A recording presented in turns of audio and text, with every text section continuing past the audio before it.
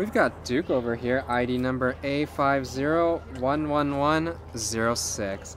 He is just a gorgeous black and white pit bull, uh, about three years old, and he came as an owner surrender on November the 11th.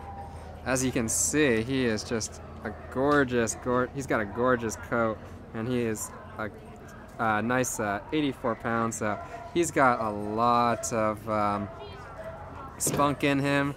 He definitely needs an active family if uh, you want to adopt him, but he'd make a great hiking buddy, a great uh, running buddy. Why don't you tell us a little bit more about him?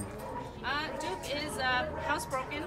Uh, he was introduced to other dogs. I mean, he wants to play, really, and because he's so big, that um, a proper introduction is a good idea. Um, he's playful. You know, he's a he's a strong boy.